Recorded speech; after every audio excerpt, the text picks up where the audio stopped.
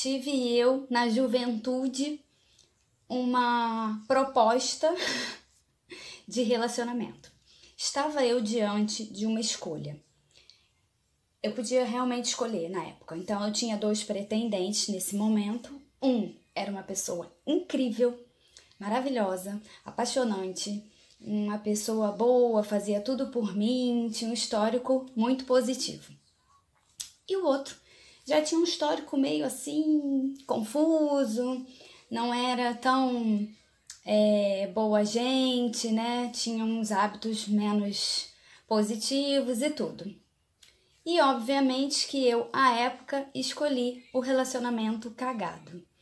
E não escolhi o relacionamento que seria bom para mim. E aí eu fiz a escolha do relacionamento ruim, obviamente que algum tempo depois eu saí com a cabeça mais cheia de galho do que um viado, que é bonzinho demais, eu não gosto de homem bonzinho.